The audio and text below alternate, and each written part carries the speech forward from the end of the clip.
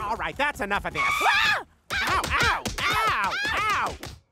You hid in Stan's car every night. Why were you in mine? Not proud of it, but I badly needed some cash for Funko Pops. Decided to steal your catalytic converter. Then I realized I don't know what a catalytic converter is, or where it is even. Thought it might be in the footwell, but it's dark down there and I fell asleep. What's bothering you, Franny? It's the kids.